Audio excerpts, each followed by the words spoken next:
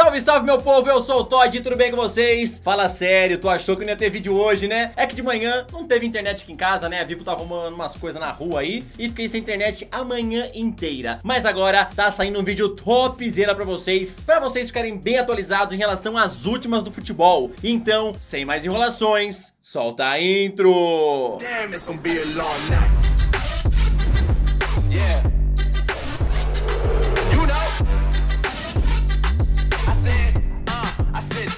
Gonna be a long night.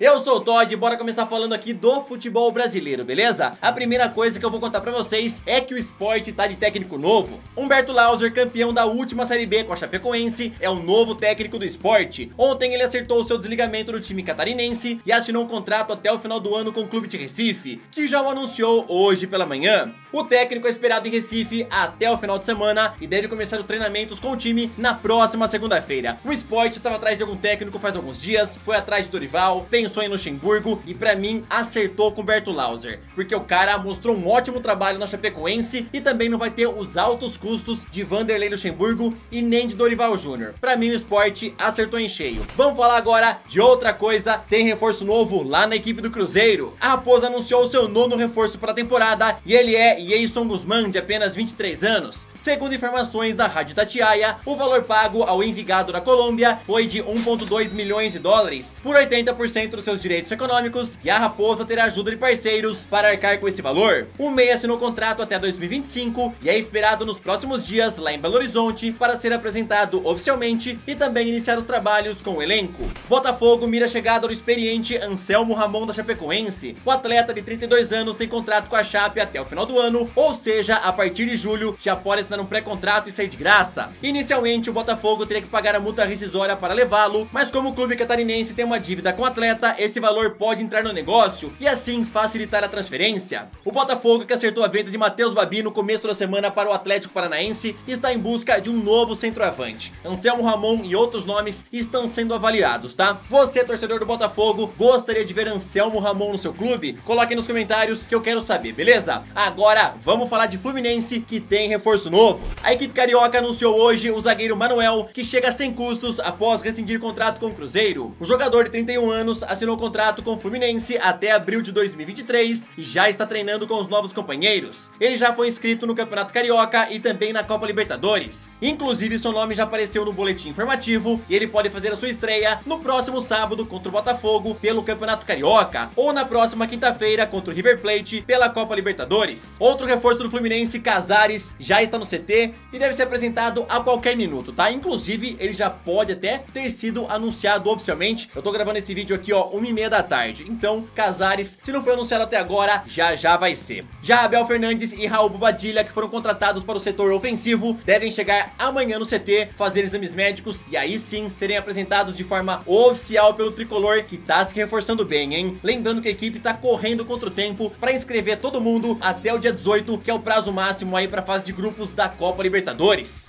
O Grêmio ontem perdeu por 2 a 1 para o Independiente Del Valle e com isso também perdeu a chance de ir para a fase de grupos da Copa Libertadores. Hoje de manhã, o presidente Romildo Bolzan já estava sendo bastante pressionado para demitir o técnico Renato Portaluppi, que está no comando do clube desde 2016. E agora de tarde foi anunciado de forma oficial que Renato Gaúcho não é mais o técnico do Grêmio. Segundo nota oficial do Tricolor, a saída foi em comum acordo. Lembrando que Renato Gaúcho está isolado no hotel da concentração do Grêmio, se recuperando de Covid-19. Segundo Globoesporte.com, a diretoria já tem dois nomes em pauta para substituir Renato Gaúcho. Primeiro seria de Thiago Nunes, que está sem clube desde que deixou o Corinthians no ano passado. E outro nome seria de Guilherme Esqueloto, que está sem clube desde que deixou o Los Angeles Galaxy. A diretoria falou que por enquanto não abriu negociação com nenhum dos dois nomes e segue avaliando possíveis substitutos para Renato Gaúcho.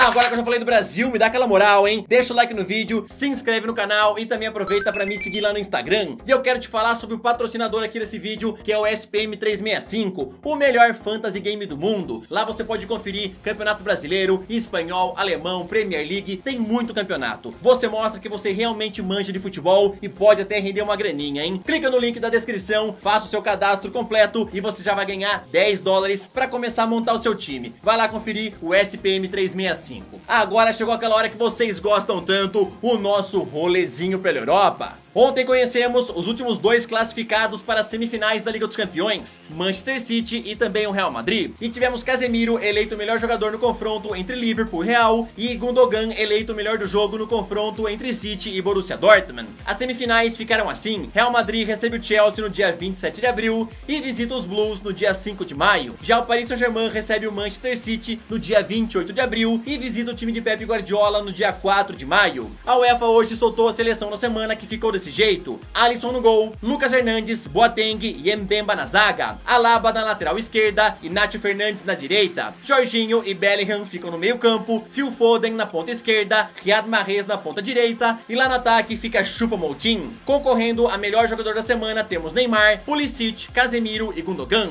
Já concorrendo a gol mais bonito temos a bicicleta de Taremi contra o Chelsea, que foi um golaço, a bomba de Phil Foden contra o Borussia Dortmund, o belo chute de Jude Bellingham no ângulo de Ederson e o gol de cabeça de Chupa Moutinho contra o Paris Saint-Germain. Lembrando que nessa semana tivemos apenas 5 gols pela Liga dos Campeões, então sempre concorrendo ao gol mais bonito, são 4. As escolhas aí estavam um pouco difíceis, né? Porque se você for analisar o gol do Chupa Moutinho, de bonito não tem nada, né? Foi um gol completamente normal. Agora pra mim, não tem sombra de dúvida que o gol mais bonito foi do Taremi contra o Chelsea e eu acho até que vai concorrer ao Puskas, tá? Eu quero que você coloque qual foi o gol mais bonito da semana na sua opinião, o melhor jogador da semana também na sua opinião e comente aí sobre a seleção da semana e aquele velho mistério que ninguém sabe explicar. Neymar foi melhor do jogo, Pulisic foi melhor em campo, Gundogan foi melhor em campo, Casemiro também foi melhor em campo. Nenhum dos quatro está na seleção da semana. Grande mistério da UEFA, ninguém sabe explicar isso daí, tá? Se alguém souber, por favor, me fala nos comentários, porque realmente eu não sei qual que é esse critério. O Arsenal está de olho em trazer outro Martinelli para a equipe, e dessa vez o alvo é Matheus. A joia do Fluminense de apenas 19 anos vem cantando os olheiros dos Gunners, que já estão em negociações com os representantes do atleta, num negócio que pode chegar até 40 milhões de euros. Pelo menos é o que informou o jornal inglês The Sun. Martinelli estreou em novembro do ano passado no time profissional do Fluminense e já se garantiu como titular na equipe. Ele seria a segunda joia do clube, que pode render uma bela grana ao Fluminense. Lembrando que a primeira joia é Kaique, que já está sendo negociado com o Manchester City por 10 milhões de euros e podendo render mais 15 milhões em bônus e metas alcançadas.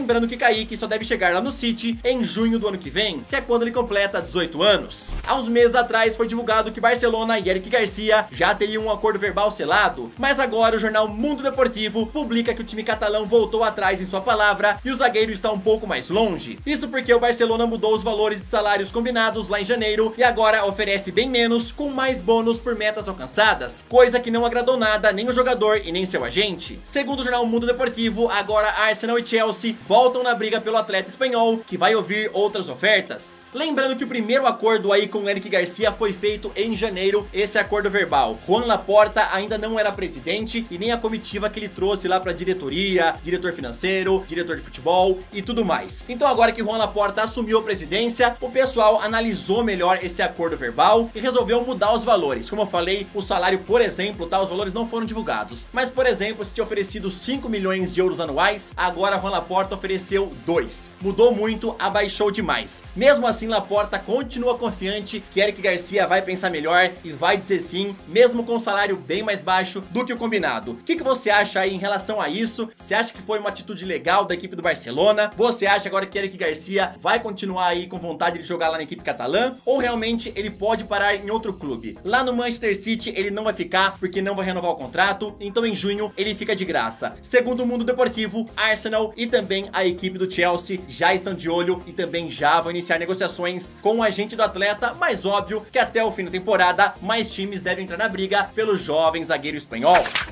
Bom, galera, essa daqui foi mais uma edição do Todd News. Eu espero que vocês tenham gostado. Comentem sobre tudo, bora bater um papo, ter uma discussão sadia. Não se esqueça de me seguir lá no Instagram, que eu tô com uma conta nova e eu posto bastante coisa que eu não consigo colocar aqui nos vídeos. Inclusive, também, quando tem algum problema, vai atrasar, eu sempre informo lá pela rede social, tá? Vai lá me ajudar a bater os 10k e liberar o arrasta pra cima. Tamo junto, galera. Valeu, até o próximo vídeo. Falou!